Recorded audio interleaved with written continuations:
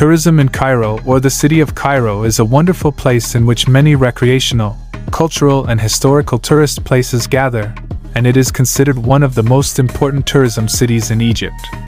Cairo, the largest Arab city in terms of population, is a city with a population of 21,300,000 people and it is the destination that has always been visited by many visitors, as it has wonderful gardens and various recreational places, along with distinctive traditional markets.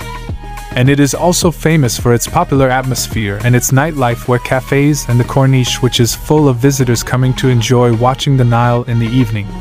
There are many things that you can do during the tourism trip in Cairo, but visiting Cairo museums, specifically the Egyptian Museum in Cairo, comes at the forefront of these things. As this museum located north of Tahrir Square is one of the tourist attractions that are worth a visit because it includes various exhibits, numbering 180,000 pieces. Each of these pieces displayed is of great importance, and in turn reflects an important history that this country witnessed over many years.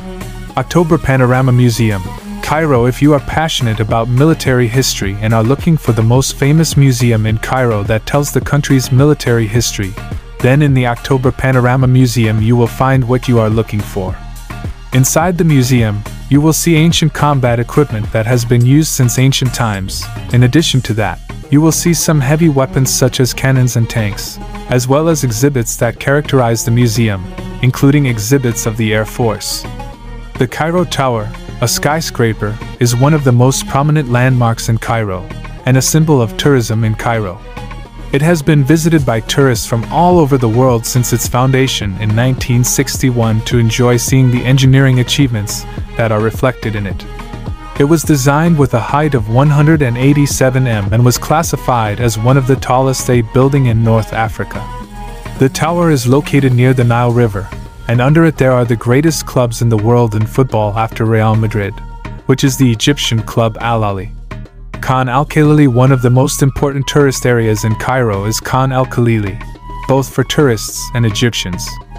The Khan al Khalili market includes exhibits of handicrafts such as copper and wooden artifacts and other antiques and souvenirs that appeal to tourists to acquire as a souvenir of their visit to the city. The market also includes many famous bookstores in addition to the famous Al Fishawi Cafe when we talk about tourism in Cairo.